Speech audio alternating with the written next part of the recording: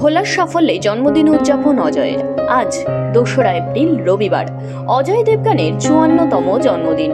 উনিশশো একানব্বই সালে ফুল আর কাঠে দিয়ে শুরু অজয়ের বলিউড যাত্রা, যা এখনও স্বমহিমায় জারি রয়েছে।